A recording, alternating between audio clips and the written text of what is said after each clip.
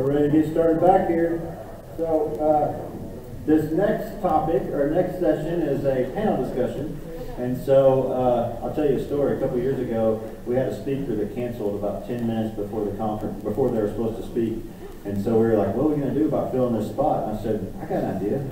So I went in the vendor hall and I rounded up every vendor I could find and I said, hey, you're on my panel in ten minutes. And so we, we put together an impromptu panel and it went so good, people started saying, you should do this every year. And so ever since then we have. So here we are at the panel discussion and this is usually a, a pretty fun discussion. The, um, we haven't done it virtually and live yet, so we're gonna see how this goes. We did it in the sleep room yesterday it went terribly bad, so it's gonna go better today. Um, the panel was good, it was just people online couldn't hear anything we were saying, so. Um, and they didn't get the video either, they didn't get to see our pretty faces. But anyway, so we are gonna go through a series of questions here, and first I'm gonna have the panelists introduce themselves. I've got a slide here. Um, so if you guys, you guys are gonna struggle to see the questions, but I'll read them to you. Um, so, Mr. Gann, I'll start on Leah's yeah, well, you gotta pass the mic down. So I'm Gene Gann, CEO of Aventa LLC. And he is over there. Hi, Joe Lewarski, uh, uh, Senior Vice President of Clinical Affairs for Dodge Village Health. I'm Kim Wiles, I'm VP of Respiratory Services at Allegheny Health Network for Medical. Uh, Lee Bowles, Senior Clinical Sales Sales Specialist with Philips Respironics. And I'm Roger Richardson, I'm a manager educator for Vanderbilt University Medical Center of Respiratory Care in Enterprise, which is now full bloom across Vanderbilt Health. All right, thank you guys. So, for you guys online, you do have the opportunity to, um, I should talk up in the ceiling. You guys in the cloud up there, uh, you do have the opportunity to ask questions as well. And then at the end, um, if we get any of those questions, then they'll, they'll ask us back in the back of the room. And then if you guys have questions at the end, hopefully we'll have some time to be able to ask, ask those as well. So here we go. The first question, last year when we did this, we talked a lot about respect and just about how the respiratory profession had, had really come to the forefront of what was happening in the pandemic and we've gotten more press than ever before. And so now we're a year later in that. So I just wanted to hear um, from the panelists, what do you guys think about, what's that look like now? Is that still the case? Um, I know that we have a much different situation than last year. We're, we're tireder. It's been a long couple of years now instead of just a long year. And uh, so I just wanted to hear maybe from you guys on, on what are you seeing out there? Are we still getting that same press and that same notoriety? Um, and what do you think it's done for the profession?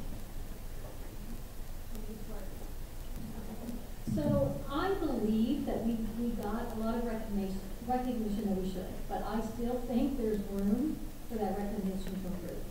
Um, do I think, and I know people have gotten raises, are we up to the status? Do we do a lot with these patients? Absolutely. So I think absolutely we've gotten respect. We've been seen on the news a lot more than we ever have, but we've got a long ways to go. And I think that not only in our profession, but in our, what we do as a profession. So it's not just about taking care of patients in the COVID floors and ICU. We've got therapists in all realms that we need recognized. So, you know, and I'm gonna come from, I'm gonna be selfish, it's all about me right now. From a home care standpoint, we don't get recognized at all. And we're taking care of a lot of COVID patients in the home. So, with that said, I'm it to Lauren. Sorry, I, I got, uh, what do you call, that, that tell on that, perfect, just absolutely perfect. Um, we've gotten a lot of very positive press, but also some press that just does not understand our, our profession. As an example, on CBS about three weeks ago, local, um, reporter interviewed Craig Erickson, Georgia Mission showed up at Vanderbilt, so that's not why he's with, he's with us. Like, They wanted to in, interview him about the importance of respiratory therapy, uh, during COVID. And they did a great interview, Craig did a great job, but they did a soundbite of about forty-five seconds on CBS News, and, and it had underneath, uh, Craig, who has the highest credentials in education in respiratory therapy, it said ventilator technician. So, of course, um, I've been known to be a little passionate. Uh, so we immediately contacted the, the CBS affiliate and said, this is not correct, you've got to change it on the website, they did.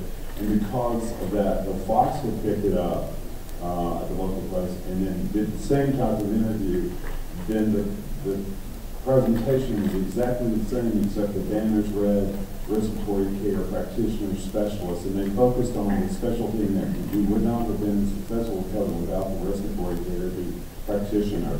And, um, shameless plug this one we talk about last session today about the importance of language for the respiratory practitioner. So it's, the general public doesn't understand unless they have been intimately involved with respiratory therapists at a high level of education and training and specialty. And I want to address what you said about not at the, level of the nurses. We're very fortunate at Vanderbilt that uh, Craig and I report to the, uh, I report to him, he reports to the chief nursing officer of the entire enterprise. And so we are at the table with the nurses, and our pay now is almost equivalent to the nurses. So it, it's coming.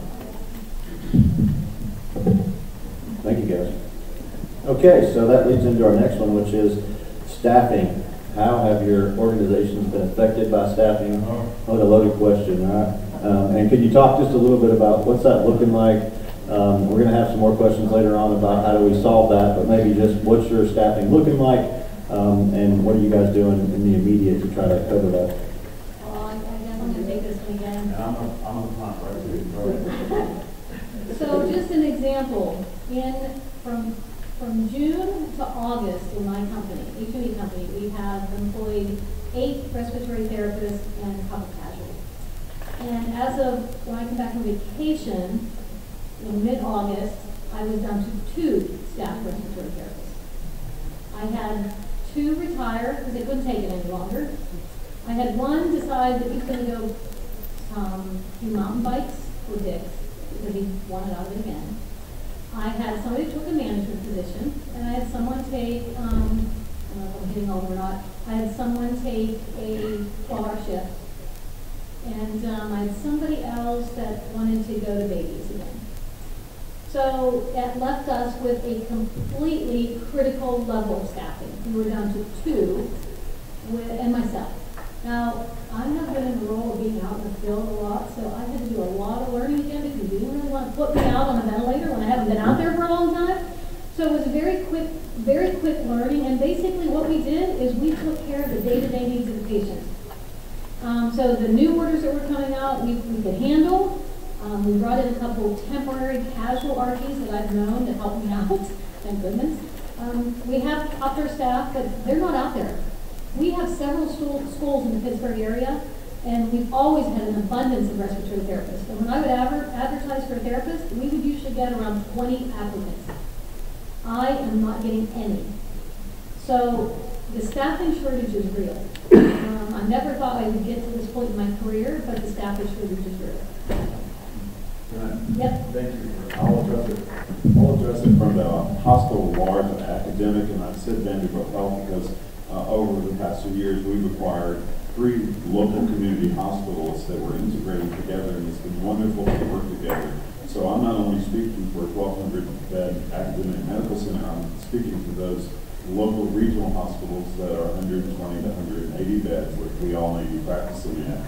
And the staffing shortage has been as painful as I've ever seen it. Uh, Craig joined Vanderbilt, my boss, uh, joined Vanderbilt seventeen years ago as a traveler. And this year is the first time since he joined us that we've had to reach out to get travelers. And it's not so much been related to staff leaving us, but it's really related to the increase of our practice responsibilities. Uh, we have done things that are uniquely uh, different because we've gone from uh, X to Y, a 30 to 40 percent increase in our acuity, and we've added 28 intensive care beds, and our local hospitals have done the same thing just for COVID. That, so what we've done is uh, needed more staff because of the acuity of the patient. We used to staff based upon number of ventilators. We no longer do that in a unit. We look at the diagnosis and acuity of the patient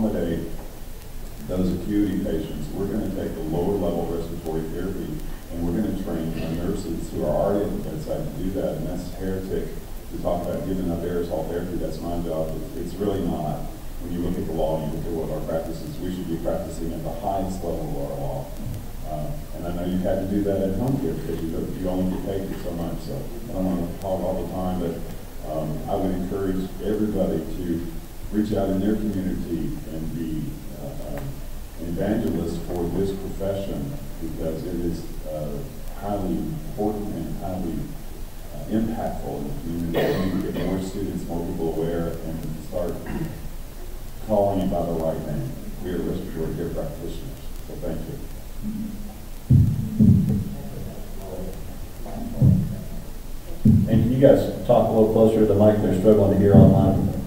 I'm gonna, I'm gonna have a word real quick before the mic off, take it back. Sorry. Oh, no, y'all did it. I, I want to address one thing with that too. is We, we've had some, some, some loss in our business as well with, with therapists going to do other things. But I've heard a couple of really good ideas here today and, and, or yesterday and today. And one was for, and it's not an immediate fix, but for the DME companies, there probably would be a, a really wise thing to do would be to reach out into the community and and try to help with some of that positive publicity and try to help recruit students to start coming into the program and give it a, a real positive light on what the, what the profession's about. And nothing bothers me more than to see these Facebook posts where kids will put on there that they're considering going into respiratory therapy and you'll have somebody come on and bash the field about how it's a dead end field and, you know, we're not treated with any respect and whine, whine, whine. And, and as y'all all know, respect is not something that comes with your diploma. That comes with something, it's something you earn. You gotta work for that.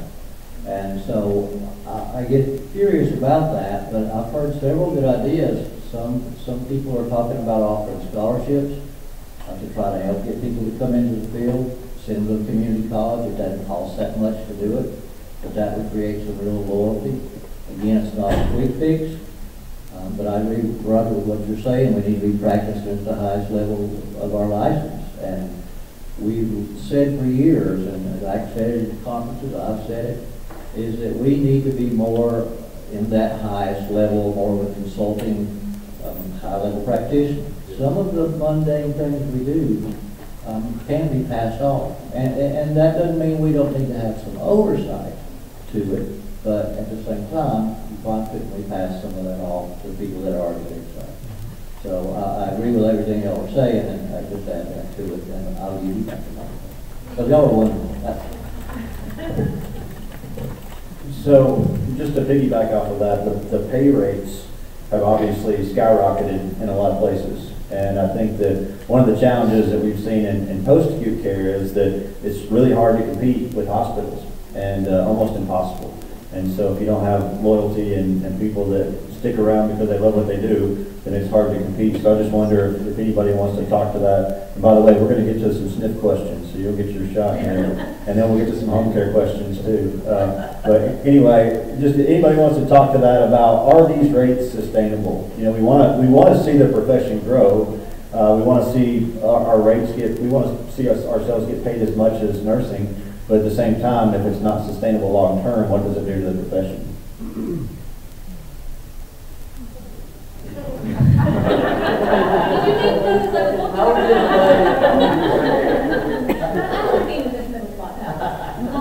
So what we had to do to, well, first of all, I wanted to retain the two that I had left. So we did have to go up on salaries. And then when we did a salary search, we couldn't.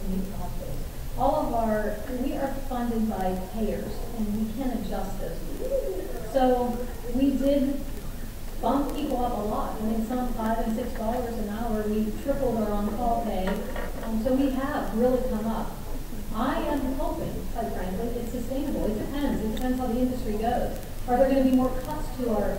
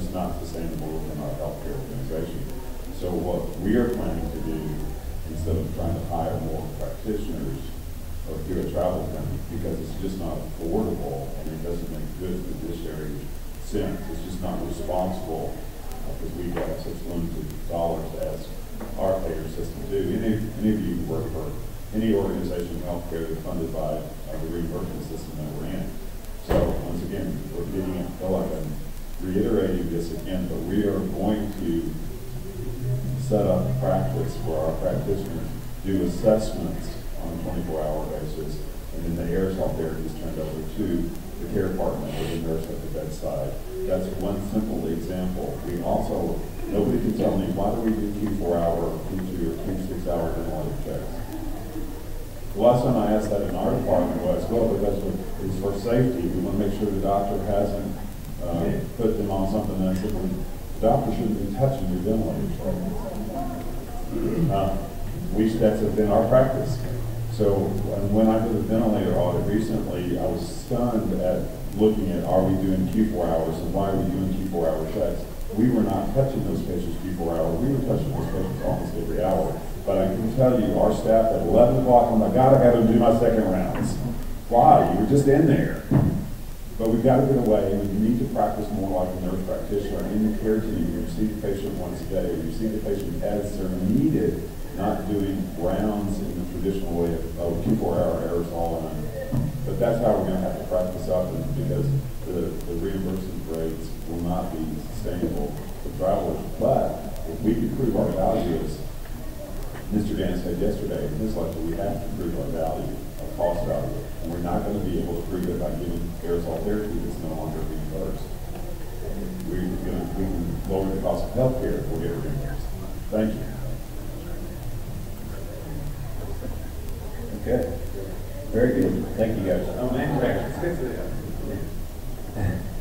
Um, okay, so what do you think twenty twenty-two looks like? We talked about there's a shortage of respiratory therapists coming into the profession. And I think, Roger, you mentioned that to me, I know I'm calling you out again, but you mentioned that to me, that even the schools right now, the numbers are way down. And, and I think from my perspective, it seems like because there's so much negativity, like you said, Gene, um, that people are scared to go into healthcare and scared to go into fields that, that are so, if they hear all this negativity and they hear all the, the horror stories and they see it on the news, and even though we've got more press, we've got less and less people coming into the profession, which is creating this funnel and a much bigger problem. And so what do you think 2022 looks like?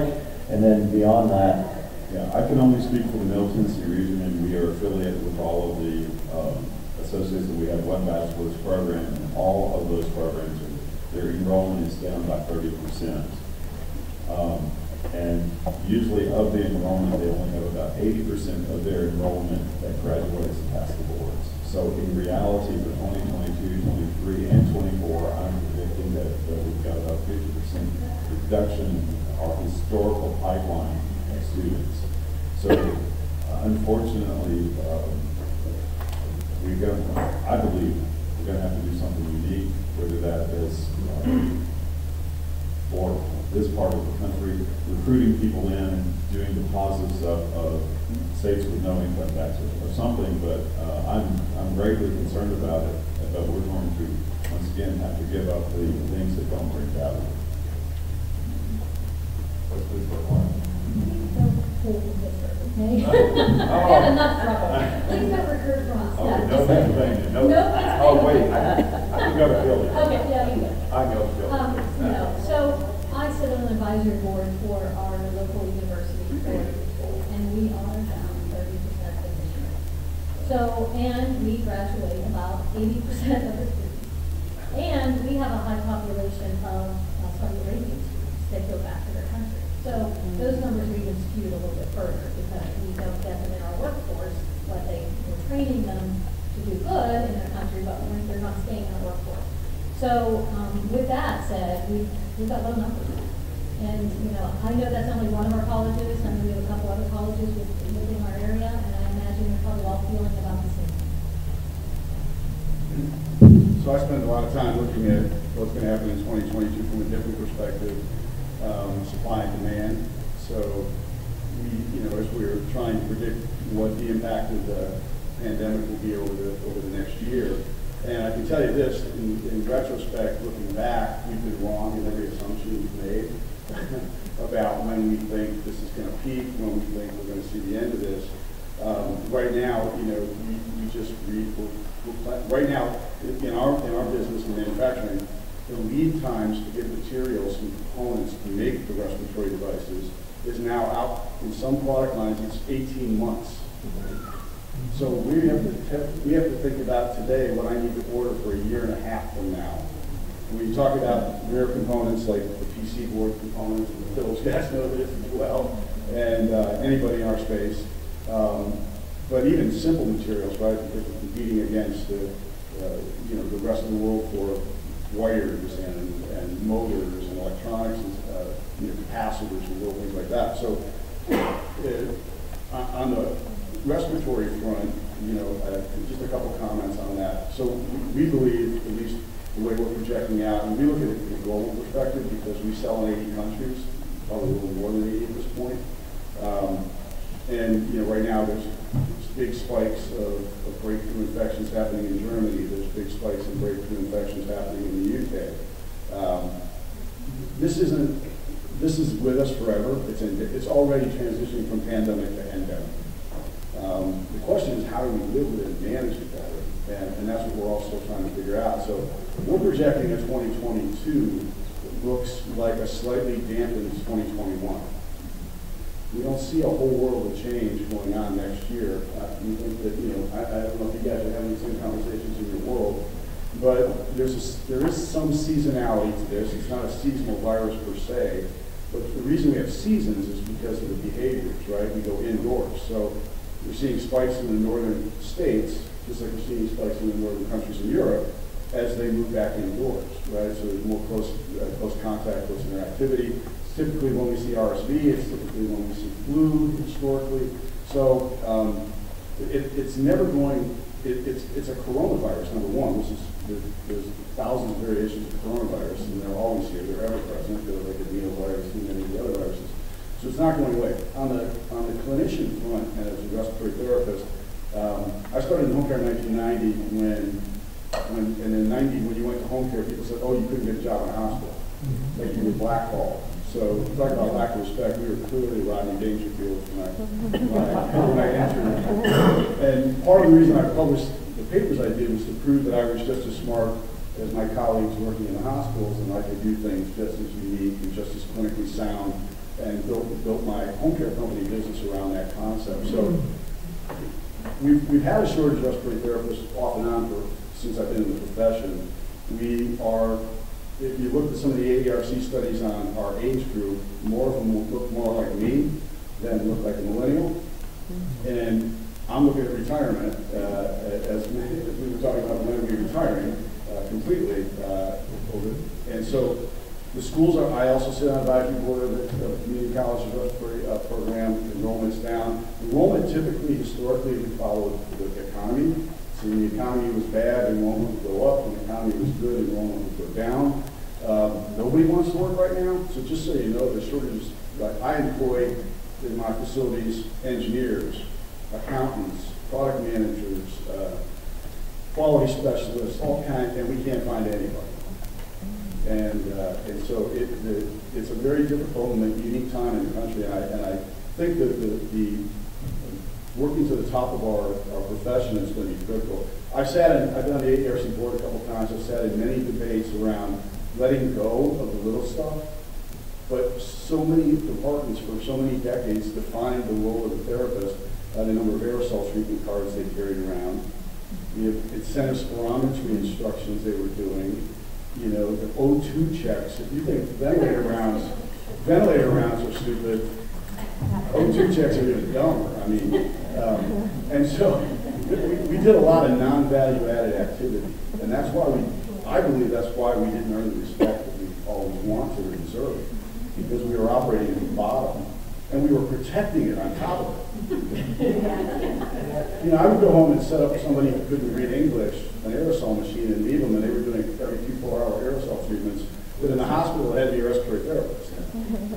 And I never, you know, when I got home care, it changed. So I do think, to Gene's point, we need to be the clinical specialists at the top of the pulmonary food chain who are the, who are the subject matter expert technologists. Because the technology, the technology is very complicated. If you ever read some of the studies, like most people can't even interpret a waveform on a ventilator, that they keep making more of. Because the ventilator companies love to make fancy belts and whistles, but the average therapist, the average pulmonologist can't even interpret the waveforms. So I, I think we do need to spend more time as the clinical subject matter experts, and that means there's going to be less of us in the long run. There's already going to be less of us because less people are entering the profession and more people are exiting. So to your point, I think that this is the time, as Gene pointed out, and others, that um, you start to break out and become the practitioner that we, we really should be. And that's one of the things that attracted me to home care was I, I was the subject matter expert every time I walked into a ventilator patient's home or into, you know, when I was setting up something complex, infant on a trach and all the cool stuff that, that I got to do in the course of that part of my career. And we were the subject matter experts. And then you were the reimbursement expert, and the social worker, and about 10 other things while you were in the patient's home. But that's where we need to, to focus. And I think it's going to require, you can't get all that done in a two-year degree. So we're going to need to continue to push for advanced training from associate to bachelor's, bachelor's to master's, just like all of our other professions. One of the, we, we fought, every time I was on the board at the AARC, we fought over, should we make higher degrees a requirement? And every time we lose that fight because about half the board members were um, program directors of community colleges. So they don't want to, it's a conflict of interest, right, to, to suggest. But at the time I've been a respiratory therapist, pharmacy went from a bachelor's degree to a pharm, PharmD. Speech therapy went from a bachelor's degree to a PhD. Physical therapy went from a bachelor's degree to a PhD. Audiology went from a bachelor's degree to a PhD. And we are focused still around community colleges and fighting on bachelor's side. So I think we're going to have to get comfortable with the idea of escalating this business to a part of it. I'm sorry, No, it's a great point. I just need to, we'll take 10, 15, okay, 45 seconds to, um, no, but your point is excellent. I teach emergency ventilation for Vanderbilt School Nurses, nurse practitioners. Um, and I've done that for three or four years. This year, when I went in for this very long course curriculum, I said, okay, what's our breakdown of nurse practitioners, BS nurse practitioners, and doctorate level? Oh, we no longer have a BS program in nursing. All nursing programs at Vanderbilt now is a nurse practitioner or a doctorate level. So nursing has just made the impact that you just talked about physical therapists. Nursing is now doing it. So it is imperative on us to set a standard, not, not that we're degrading anybody, and I was a CRT, very successful CRT with an AS degree for years and years and years. All of us. When I was, yeah, but the point is, with technology and accreditation of online programs now, there's no, I, I didn't do it for years and years because I, I chose not to do it because I couldn't go to a brick and mortar. And I'll talk about that too, but we have an opportunity electronically to get doctoral degrees and we should take advantage of it. I'm Forty-six seconds up. We'll just keep that mic, because I got a question, another hospital-related question before we go to post-acute, which is next. But, um, I think that we all know that respiratory therapists have struggled, healthcare professionals have struggled over the last couple of years, and so I just wondered if you could tell us, how are your respiratory therapists? I, I think I talked, I cried about this yesterday, which I wasn't going to do. Um, I swore I wasn't going to do, and just, I, I told the story of the stress that they've been under, and I, I, I've seen it over and over, and I worked the night shift, uh, just recently, which was very beneficial to the story that I told yesterday. But they are compartmentalizing to a point that I'm very concerned about their emotional mental health. An example tonight, I didn't share this yesterday in my presentation, the night shift that I work, uh, one of my ICU colleagues, MICU colleagues, in 12 hours lost six COVID patients they've been working with for about three to four weeks. And that one particular night, every two hours, she lost a COVID patient. And, uh, and it's, it's, it's, it's concerning, and I'm fortunate to work for an organization that has a great employee, uh, relation, employee health benefit assistance program. But we, the stats are that nobody's taking advantage of it. There's a stigma related to that, that I, I can't do that because this is my job and it's affecting our emotional health. Um, and I'm very concerned if we don't change our practice, that we will have more exits because of the emotional breakdown. And I'm seeing, I'm seeing some, some hostility in, within the department that I've never seen before. It's all because of stress. It's all because of the way that our brains are functioning. And so, Uh, I think we all have to have a little more patience and a little more understanding, and we need, we need to be vulnerable. And that's, that's not who we are as a practice. You know, we, we cover the entire hospital, and it's interesting that fields that you were talking about, PT, OT, speech, and even nursing, none of them compare to us when you're a single practitioner covering a small community hospital and you, you touch every patient. You're at the patient when they are born and you're at the bedside when they die. None of the other practitioners, and when you can do a great look, then it makes us stand out, um, related to ethics, related to politics, is that we have such a broad range of language because we've been there first and we're, we're the head. And that's not true for PT, speech, or OT, but yet they require a doctorate level. So what's wrong with this picture? That was so, I, I'm an example, I'm, I'm- I'm a mess. There you go. Thank you. Okay, so moving on to post-acute care, and let's talk about skilled nursing facilities for just a minute. Um, How has COVID-19 affected respiratory care in the skilled nursing facility? And then maybe also you touch on the reimbursement changes a couple of years ago, and, and how has that affected respiratory care in the skilled nursing facility? I, I feel like I got set up on that. I was just kidding about the microphone. Um, So, so the effect on skilled nursing facilities, obviously, y'all all saw um, the devastating uh, activities that were going on in nursing facilities across the country. Uh, It was very sad to see, we lost a lot, a lot of people uh, in nursing homes uh, as a result of COVID. Um, We had the, the good fortune or the fortune of the, of the opportunity, I'll say, I don't think it was good fortune, but it was COVID related.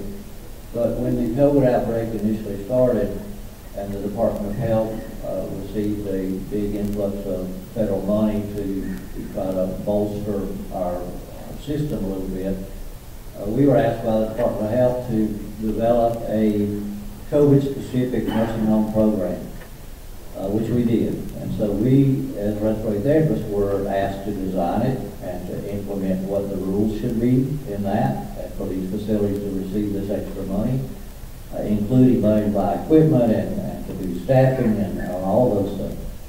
Um, one of the things we required, first thing we required was that they have a respiratory therapist at least eight hours a day on any COVID unit on any nursing home. Uh, These nursing homes were setting up uh, 10 to 20 bed facilities that took uh, mostly patients that were coming from the hospital that had been, so we were trying to relieve beds and that. That was our major focus, was how can we relieve the ICU beds, how can we get these patients out? So we had the, we had the opportunity to do that and it was very successful. Uh, It lasted during the first wave, then it stopped and all of them shut down. And I'll be danged if a few months later, we didn't get the call again, let's crank them back up. So we had to go back to that. Now, staffing in that situation was extremely hard, because you were talking about, we want to hire you for eight hours a day, but only for a couple months. And, and that was a real tough competition. Luckily, the facilities that did most of these units already had respiratory therapists on board. Um, and we were lucky to have most of those respiratory therapists who had families who realized that the big money wasn't the only thing in life. Their family was important and their, you know, their stability was important. So, what was the next part of your question? Um, the, the reimbursement. Okay. The reimbursement changed right before COVID hit and now pays for respiratory therapy services that are included in ancillary services, which now is paid for in the skilled nursing facility. So, uh, it kind of got blinded by COVID over the last couple of years, but how has that changed the SNF market? And you think that will continue to change? I do. Prior to the COVID situation, right after that happened, we were seeing that influx of facilities calling, wanting to uh, acquire respiratory therapists because they knew their acuity was going to be up and they could get paid for that. So that was a big change in the market. Um, so we were talking about the, the, uh, the shortage of therapists right now in the hospital is tremendous. And the loss of going to travel positions is a big part of it. But we're also going to see in the future, in the near future, a loss from the hospital side to going into long-term care. And there's also going to be opportunities, like with our company, we, we do quality oversight for insurance companies. We employ about 25 respiratory there. We will be looking for more. So there's going to be that increased competition too. Um, So I think it's going to be impactful, but I know that for the next three to four years, we are all going to struggle. There's no doubt about it. We are going to, we are going to have to shine the next three to four years and seek every opportunity we can to keep that publicity up, to keep it positive, to make sure that it's the, the right publicity in, in every community. And I encourage all y'all, if you have an outlet, reach out to that outlet try to get some kind of press going for your, for your organization or for yourself, for your profession.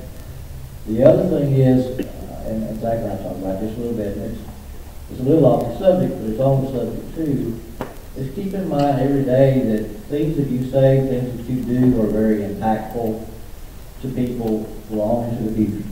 Um, I, I have, you know, been so excited so many times to see people that I hired, uh, as, you know, eighteen-year-olds, nineteen-year-olds, not only as respiratory therapists in the DME world, who are now managers and who have, you know, top jobs in an organization, they come to see, and they, they've done so well. Um, even in this room, I have one, who became a brilliant respiratory therapist, uh, that worked for me at a very young age.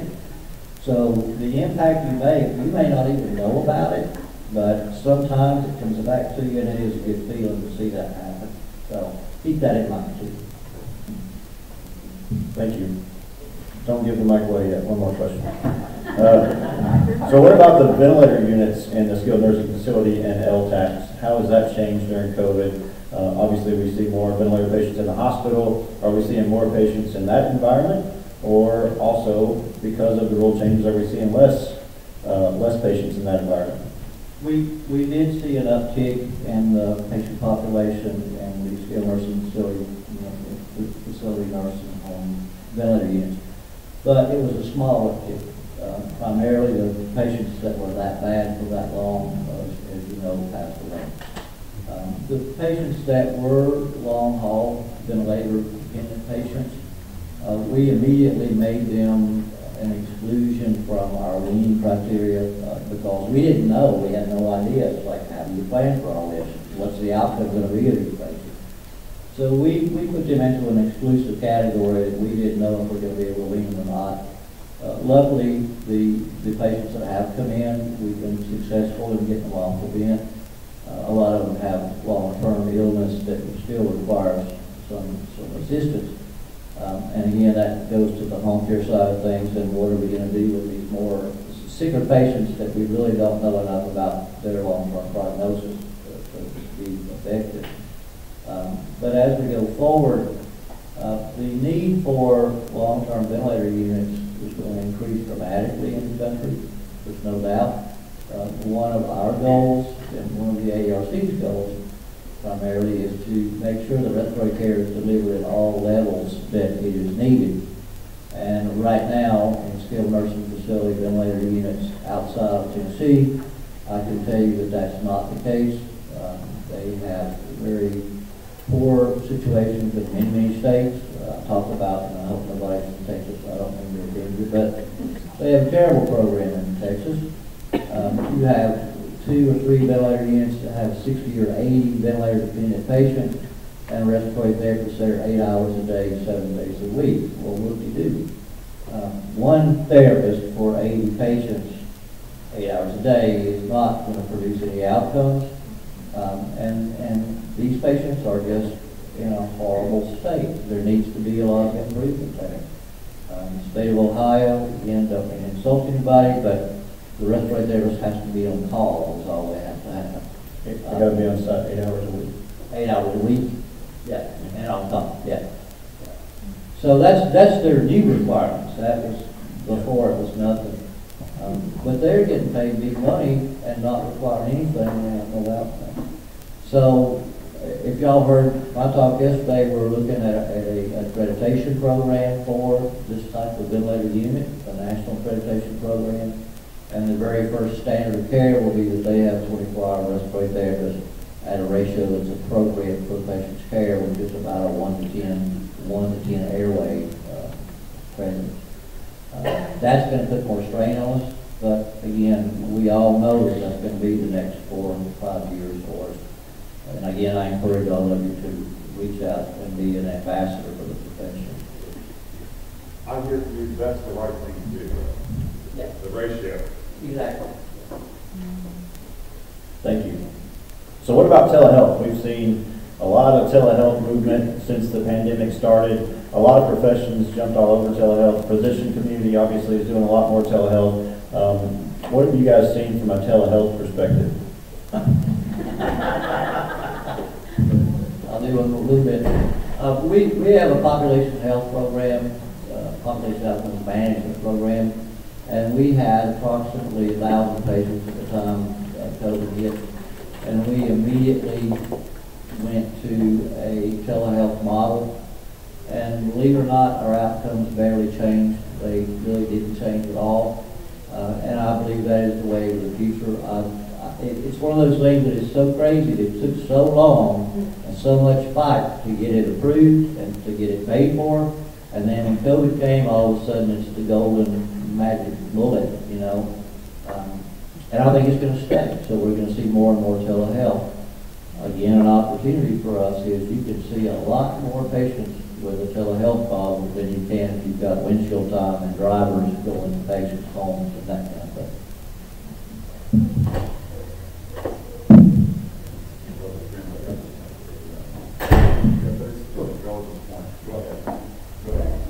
Uh, Just adding to that point, there are a lot of programs coming out from the manufacturing side and services, like our PAMS program, uh, to help take some of that low acuity, like CPAP setups. We have licensed RTs that actually do remote setups for them, as the DME, uh, to help move a lot of their RTs up to the higher acuity, handling non-invasive ventilation and invasive ventilation. And one thing I add back to Gene, how do you think, uh, to the last question, how do you think that will affect uh, the availability of long-term care? If we go to that twenty-four hour staffing, will we have enough facilities? Yeah, so, uh, I don't know that we'll ever have enough facilities. Um, But if we go to that twenty-four hour staffing model, um, I think we're gonna need facilities step up, and the reason being that the reimbursement from MCOs, from managed care organizations, where you have state Medicaid systems are primarily run by managed care now, they are wanting to do business with facilities that are accredited. So I think the revenue, the, the payment for that service is going to increase. We've seen it happen in Tennessee. We know it's going to happen in other states as well, because we've talked to those agencies already.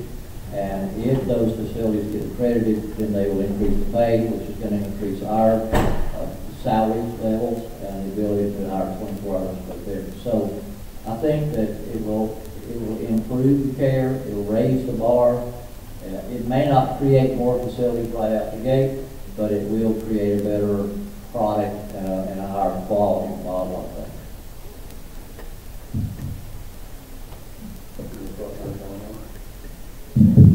So, um, at, at the beginning of the pandemic, we also scrambled to get setups, CPAP.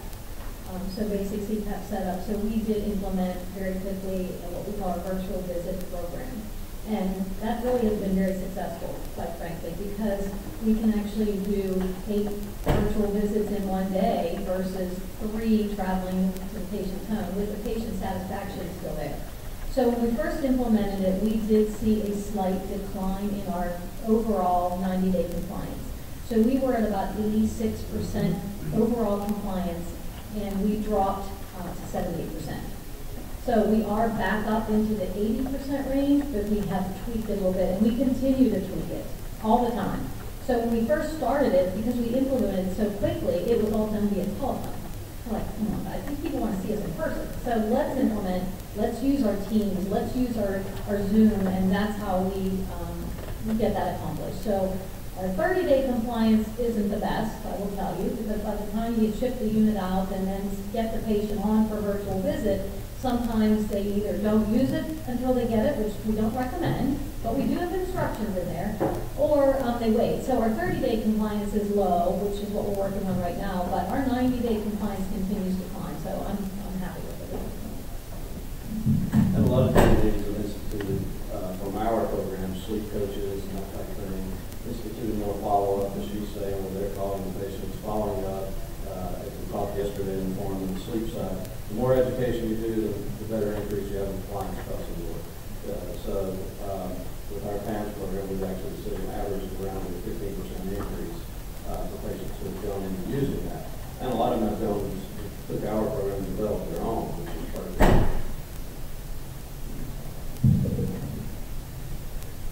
So for, from a, a home care perspective, how do you think that home care companies are gonna have to shift their strategy over the next several years? Because obviously, we're hearing that we don't have as much staffing, we don't have as much of a pipeline, we've got all these challenges with trying to keep staff. So when, when we start shifting towards doing more value and, and less volume, what does that look like, and, and what are DME companies gonna have to do to be able to compete in the market going forward? Well, I think they absolutely, and we've talked about this before, have to practice. Because I can assure you, there, I've said this before, there are many things that we do because it, we just inherited it within the field that really could be done by a trained individual. And, um, you know, I mean, I'm just thinking off the top of my head, some of the things, if we're doing virtual visits and not touching the patient on the phone, can we educate those patients on CPAP with a, with a highly trained individual that's not an RT? And you assign the RT if there's questions regarding um, RDIs and HIs and some clinical questions, then you pull in the RT. I don't know, it's a lot. But I think we've gotta really start looking outside the box because we don't have the people there to do it. So if we, if we don't think outside the box and try to implement some of these new, um, new pathways of thinking, then Not only- staffing brought that about, but COVID in general. Uh, of patients didn't want to come into an office, they didn't want someone coming into their home.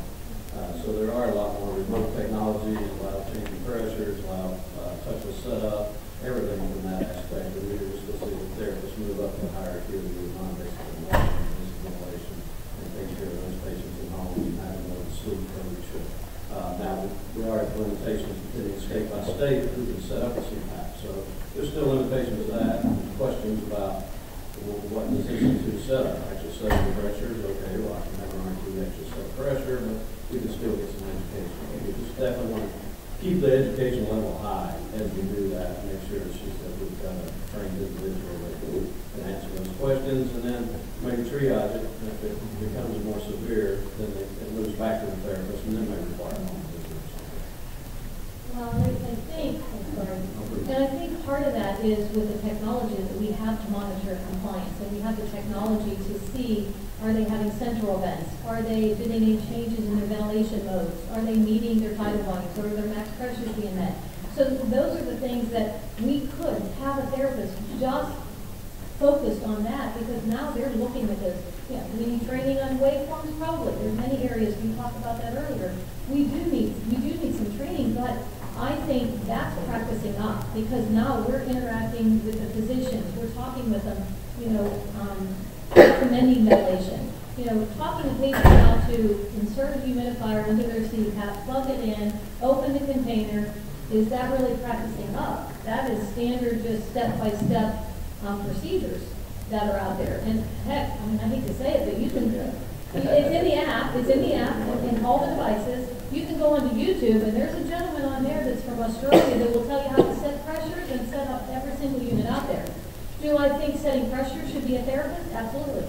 Absolutely should be a therapist setting those pressures. He's- lot of other ones. He does tell you a lot, yes. Have you Seen seen his his videos? I just want to Go to go. the manufacturer site, we all have those videos. Yes, We all have yes. our own YouTube pages. Go- Yes, and they all have their apps that, that talk patients through that if they are struggling. So, you know, the, the technology is there, we just need to utilize it and use our therapists in the right lane.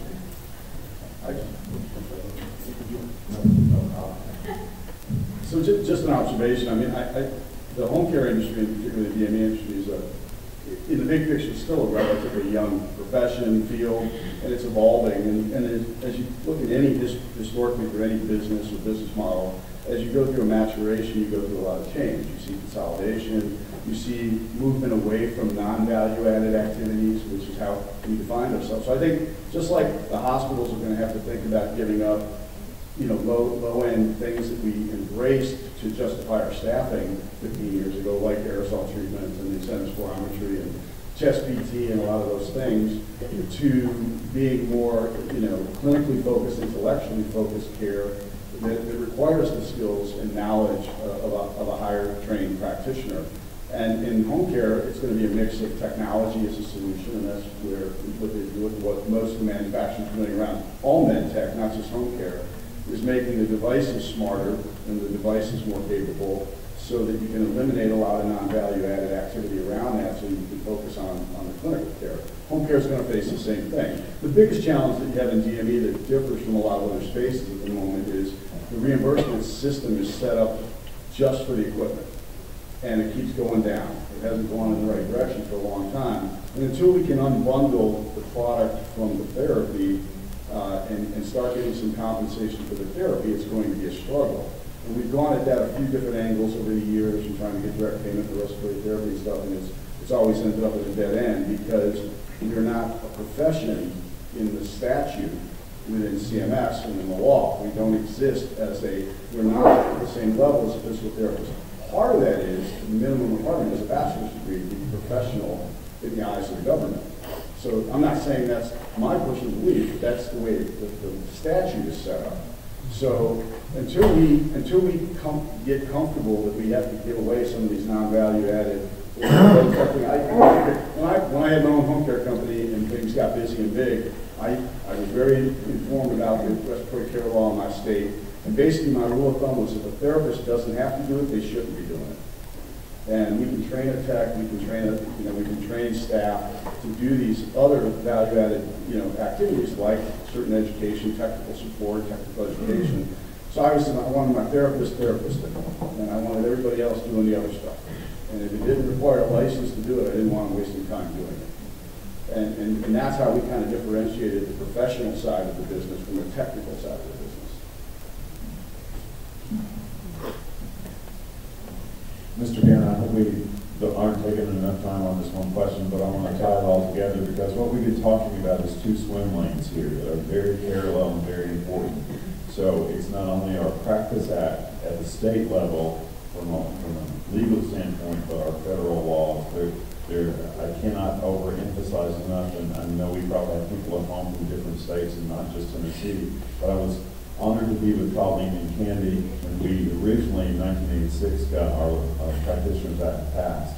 But if we had to write that, that, that law today, it'd be completely different because of the technology and the things that, that are, and so we got that law through the legislation, the legislators very easily because it was from patient safety and we had lots of cool stories to tell and that motivated.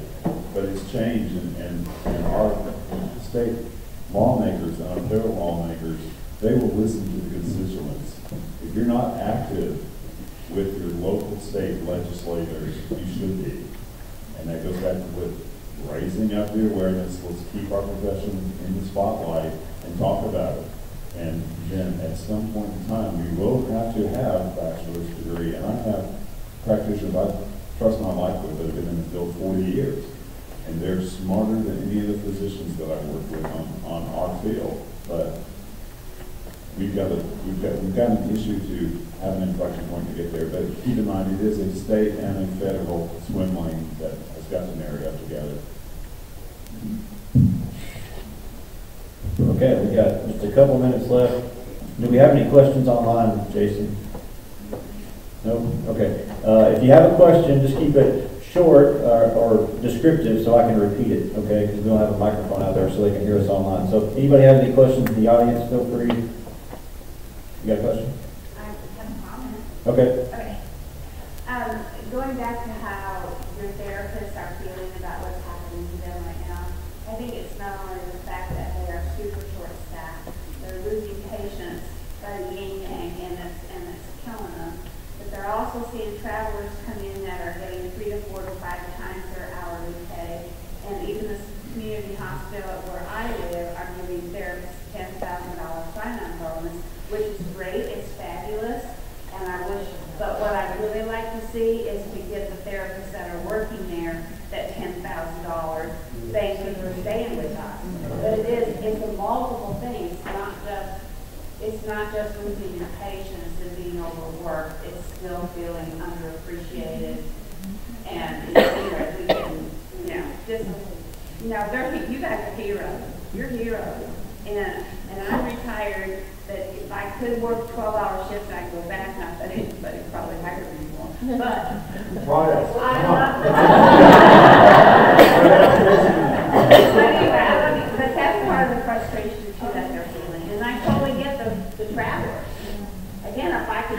12-hour shift, I'd be in Alaska right now. You know, when they're getting like 5,000 a week. So, um, so it, it's really two sides of an obvious coin. Can you qualify that for our audience at home? Um, yeah, could they hear that? You got a, a room mic, right? Okay. I think they heard. Hopefully. Anybody else have a question or comment? If I've got 30 seconds on, yes, please follow up on Colleen's very important point. So is to make a rational, emotional case to your leadership, or if you're in leadership, to the hospital administration, the home care company, and you can do a return on the investment on uh, what it costs to replace people and and educate yourself to emotion, take the emotions out of it, because it's a- an ROI type of factor that you'll take that ten thousand dollars and spread it against us, and that's what we've been successful at Vanderbilt, do that, is, you know, we're, we're having to do both. We're having to do retention bonuses and, uh, sign-on bonuses. But that's not as painful as, um, a safety issue, not having patient care. Okay. Um, it's not just the respiratory know, it's medical field in general, so what worries me is the lack of confidence and the lack of all the other fields. And you want to be able to do those higher skills, you got to be able to give them something.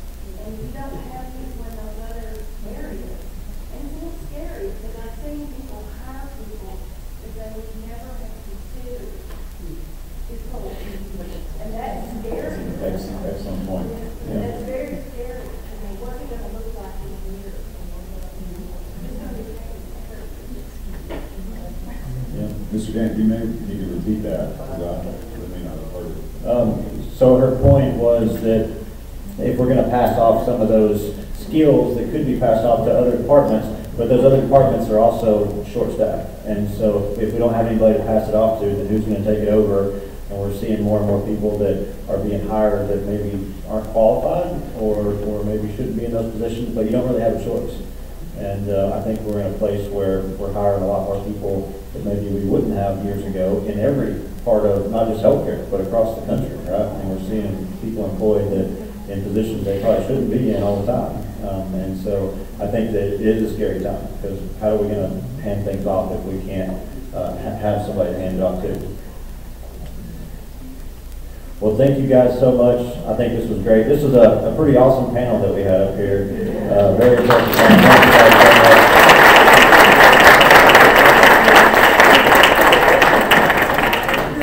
Be back at one thirty. Yeah, back at 1.30, so we have lunch right now, enjoy lunch. Hopefully the internet goes down, so you'll get free lunch again. And it comes back at one thirty.